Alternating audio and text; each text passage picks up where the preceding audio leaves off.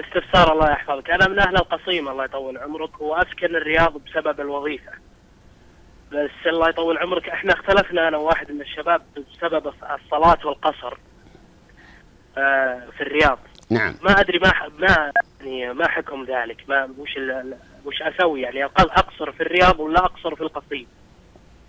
وكم يعني كم يوم كم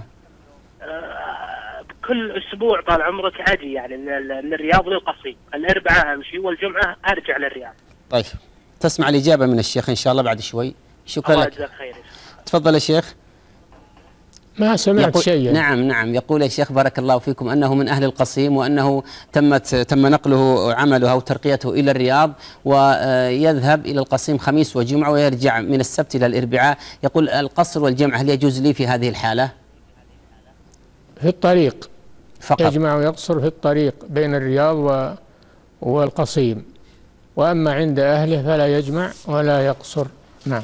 وإذا كان في الرياض يعني ساكن هو وحده يا قصده إيه، هذا ساكن للعمل. هو إيه. يبي إقامة إقامة طويلة. إيه، هذا مقيم. يصلي صلاة مقيم. نعم. يتم الصلاة ويصلي مع الجماعة ويصوم في رمضان. نعم. نعم.